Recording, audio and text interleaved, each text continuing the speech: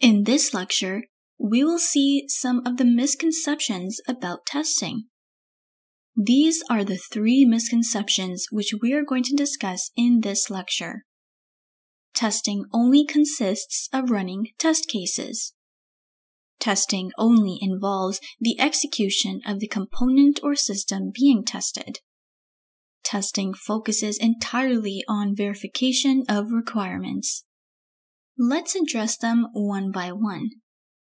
The first misconception is testing only consists of running test cases, which is completely wrong as testing is a process and consists of many activities as listed here.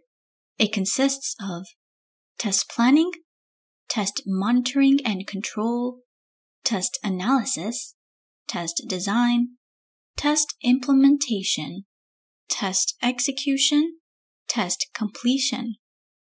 We will discuss each of these activities in detail in our future lecture. But for the time being, you need to remember these activities in the same order as listed here. Here, you have to remember testing only consists of running test cases is a misconception. The second misconception is testing only involves the execution of the component or system being tested. This is also false, as testing consists of both dynamic and static testing. In dynamic testing, code is executed, whereas in static testing, code is not executed. Since in static testing, we do not execute code, but still it is considered as testing. The statement testing only involves the execution of the component or a system being tested is a misconception. In the next lecture, we will explain the difference between both in more detail. For the time being, just remember testing consists of dynamic and static testing techniques. The third misconception is testing focuses entirely on verification of requirements.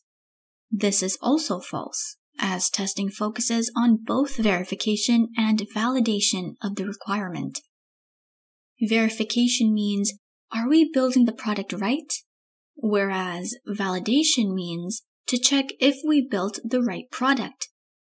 Again, I will provide a detailed lecture to explain the difference between both. As of now, remember testing focuses on verification and validation of the requirement. Now let's summarize all the points. In this lecture, we covered three misconceptions related to testing. Testing only consists of running test cases. Testing only involves the execution of the component or system being tested. Testing focuses entirely on verification of requirements.